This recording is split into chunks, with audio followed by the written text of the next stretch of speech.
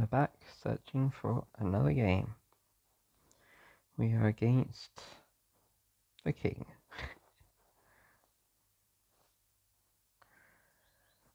and we'll give our opponent king 8, I guess. Leave open a lot of fours. Oh, that's nice.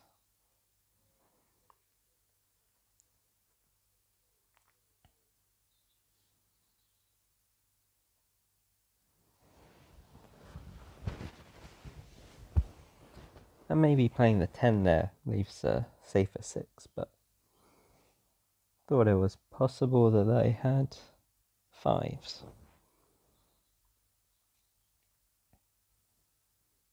So ace 2 2 works with the king, or we can just leave ace 2 2 together. Let's do that. And we get rewarded. Very nice.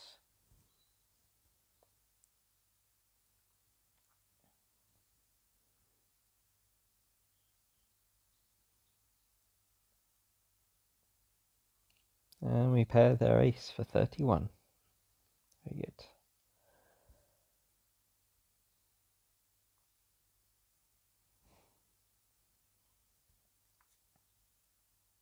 Nineteen to twenty-four. We're a little bit ahead, but still, um, our opponent's in a really nice position. They get a five on top. Always tough. Do they have low cards? Well, they've got an ace, so potentially they've got a four and hopefully no six.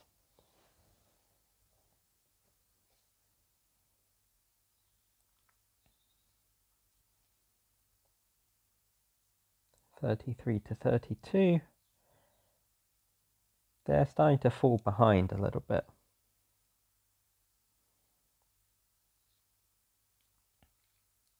Although we're now giving them a chance to catch back up.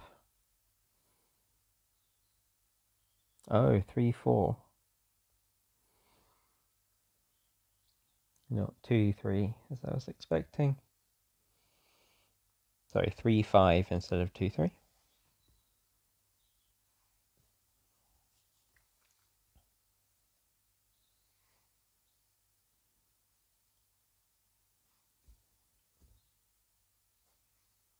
Oh, and we have the triple.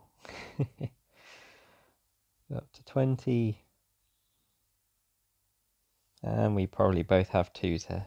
No, they didn't have two.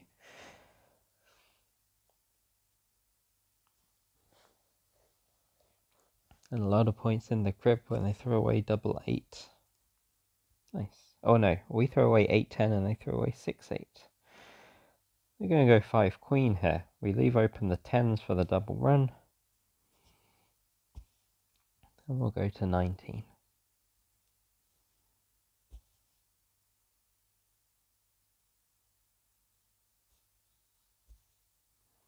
Triple king 5 for our opponent makes 12 points. Takes them above 70.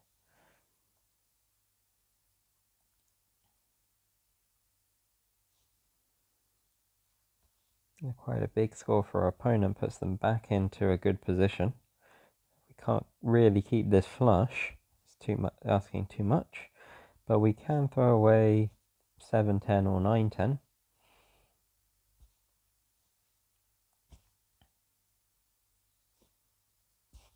And we'll see if they want to play a 7 here or something. No, 8 3. They're sort of signaling four.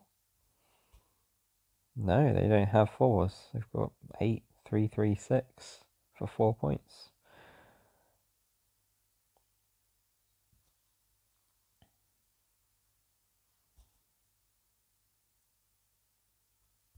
And we've got two, four, nine, nine for six points. 85, 85. Do we want to pair this? I'm going to say no. It's really bad to get tripled here. Really bad. but it would have worked out. Opponent's a little short of 96, but we do expect them to get some big scores sometimes. So, oh, and we've they've got a pair three in the crib. see what happens. Okay, get triple ten. Have an ace. They have two aces. No. 8, nine, ten, ace for only 3 points. Oh, but it's a flush. That flush seems important. Only 11 points away now. They could get this. And in this position, I'm not really struggling for points, I just want playability. So we'll throw away the pair of queens. Um, and if you think about it, I've still got seven points that I've seen, so I'm going out it's only our opponent that we need to worry about. So let's say they've got a double run here. That is, well, well, we're already losing to a double run. So if they have things like aces, maybe they're make, maybe we're making those win now. Okay. Well, we already lost to that hand, so that is a good game.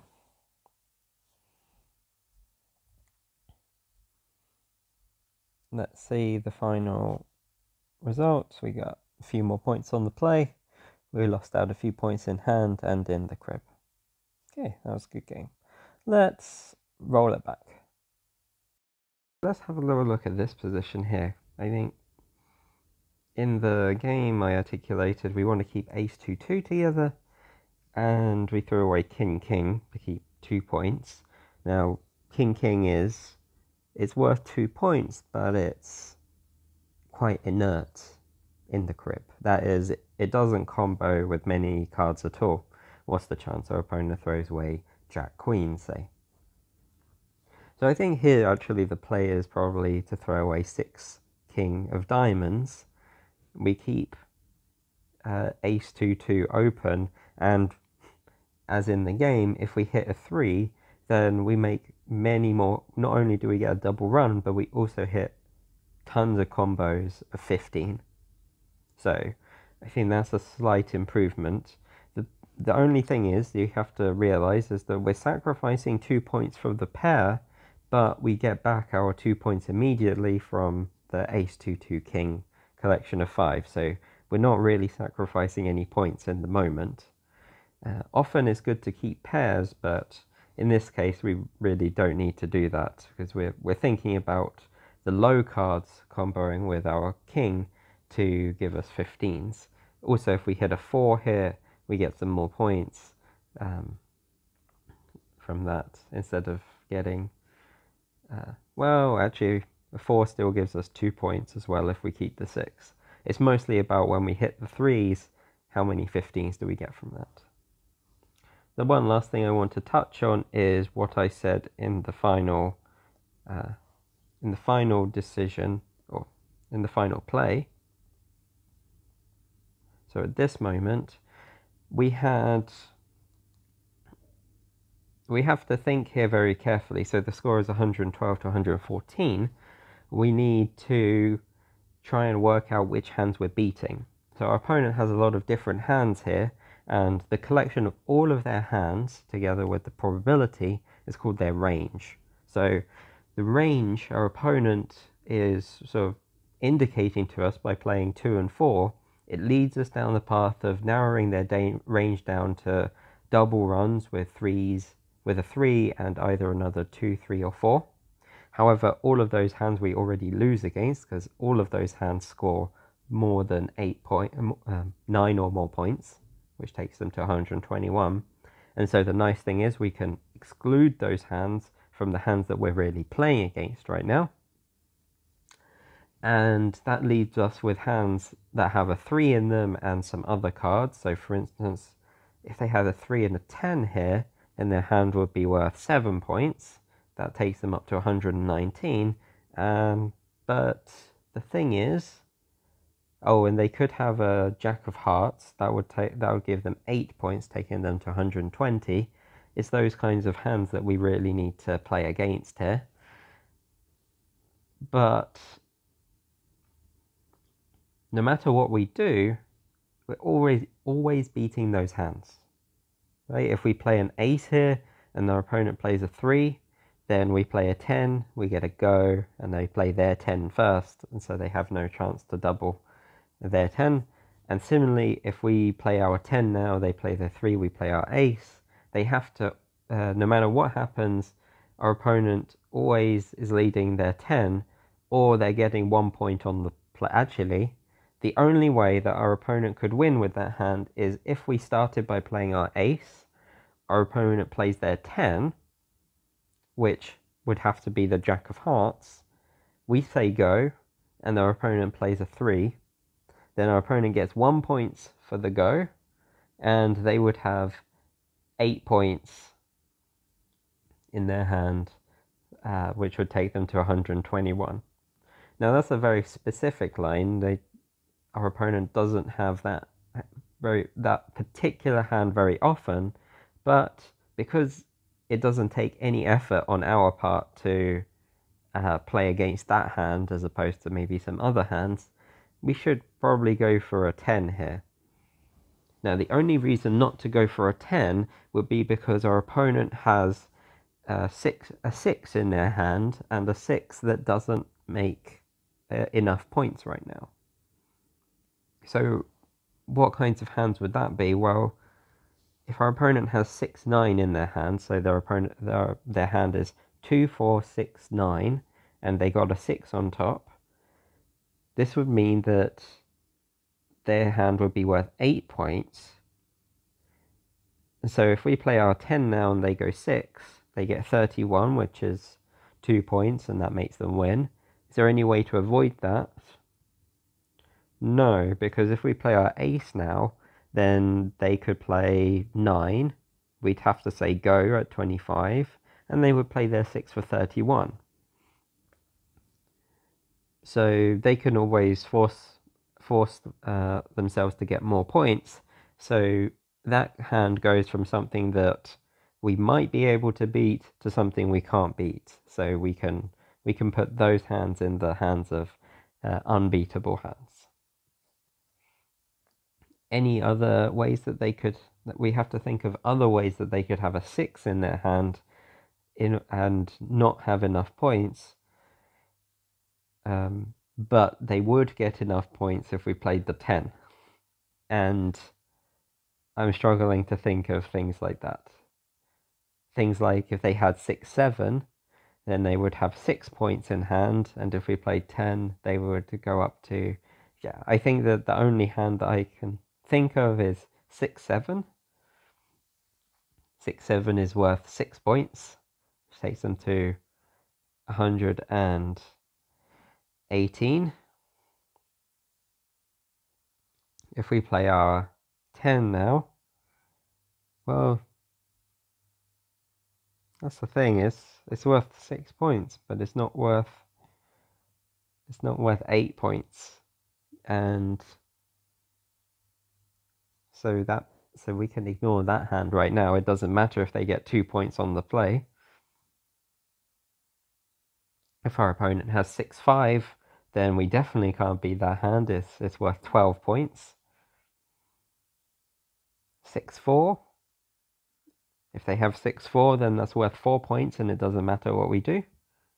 If they get 2 points extra on the play, still doesn't get them there. 6 3. Well, we already loosed that hand because that's worth uh, 3, 5, 7, 9 points. 6 ace. 6 ace is an interesting hand.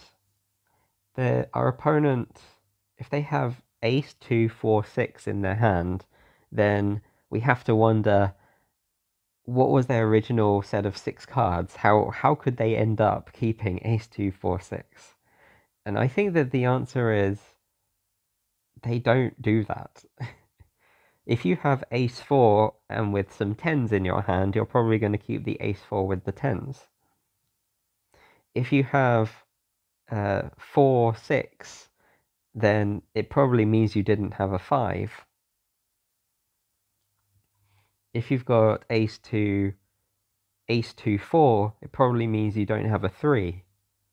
If you've got a 6 without a 9, it probably means you started with no 9s. If you've got ace 2, 4 and no 8, it probably means you didn't have an 8 either. And ace 2, 4, 6, 7, well, if you had two, six, seven, you probably would have kept that. So I literally, I literally can't think of any other cards you would have had in your collection of six cards. So I don't think ace 2, 4, 6 is a hand. I don't think that appears in their range at all. It has. So that means that we can ignore ace 6. And so that's pretty much everything else. I don't think that our opponent really has any other uh, any other hands with a 6 in that we have to worry about, and so we can confidently play the 10. Now, it takes a lot of analysis in order for us to get to that point, but if we want to get better at the game, we need to think of some shortcuts. How do we get there? We have to be able to imagine uh, going through this logic in a in a quick way. So we imagine our we, we say why can't we play a 10 here? The reason why we can't play a 10 is because our opponent would have a 6 if our opponent has a 6, which hands are we not beating? We have to quickly go through a few hands and get the impression that the only hands uh, that we're not beating that score 8 points would be 6 9, and then we see immediately that we always give up points to 6 9. And so we can play a 10 confidently. We don't have to think too much about aces and pairing our aces here. So the correct decision, I think, was to play the ace, and in the and I think that yeah, we we don't really give up too much by playing the ace either. If our opponent pairs it, then I don't I can't think of too many hands similarly that that score eight points that have an ace in right now. Maybe if they have ace three. I mean that's that's six points. That doesn't get them there. So, yeah, ace ace three. We're still beating ace three, even if they pair our ace. Oh, oh wait. Did they get three? Did they get a point for the go? So we play ace here. They play ace, taking us up to 17. We play 10. They play 3, get the go. They get three points, takes them up to 115, and then uh, they score six points for their hand, and we lose. Yeah, so so because of that as well, I think that oh, but we have to check as well. How do we go? What happens when we play the other line? So if we play 10 first, and our opponent plays three, taking us to 118, we play our ace. They pair the ace, and they get the go as well. They're always they're almost always pairing our ace. The only time they don't do that is when we go to when we play 10 and they play ace. But and that can happen. That happens more often in this position than in in positions with lower scores. Uh, why is that? It's because so we play our 10 to get to 25 and our opponent say has ace 3 left in their hand usually you play a 3 there. You want to make the score higher and you want to avoid 26 because or because we have we have a lot of fives in our hand. But yeah, you, you normally want to avoid 26. But because we're in the end game, we have fewer fives in our hand because fives are not as useful in the end game. So in the end game, you want to keep car- some cards that are higher, some cards that are lower, and you want to keep, you know, maybe one card that's in the middle, maybe one, six, seven, or eight. Occasionally a five if you really need to, but you would do that more if you're the player that's about to go out and you need an extra point or two. If you're the player defending, then 5 isn't particularly good for defense. The player that's trying to play offensively will keep a 5 in order to pair any 10 or to go to go and get 15 off a 10. So, yeah, we're going to we're going to assume here that um, our opponent knows all of this and is very happy to play their ace and or not very happy but they play their ace some of the time because they know that we're the defending player we don't have as many fives. So if we go 10 goes up to 25 there's a chance our, our opponent plays their ace and then we pair it. They get the 3 they get the go but the 6 points in their hand only takes them up to 119 uh, So maybe that's that's something that makes a slight difference. So in all of the different hands that we've checked, it turns out that playing the 10 or the jack is always the best option. So I think that's what we should do. And in this position, I would, I would play the 10. But only after a lot of analysis. I think during the game I played the ace, but that's because I didn't really see what the different what the difference was, um, and so I think this was quite useful. Anyway, I will see you all next time.